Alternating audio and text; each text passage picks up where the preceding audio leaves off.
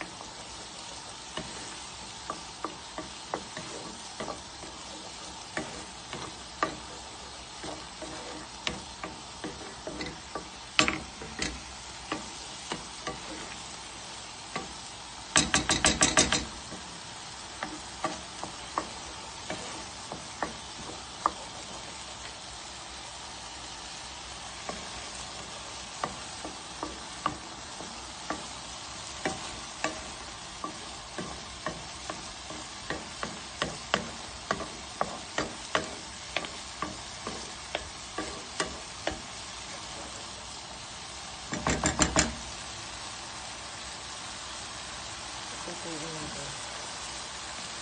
Tapos, ilalagay natin yung ulit na.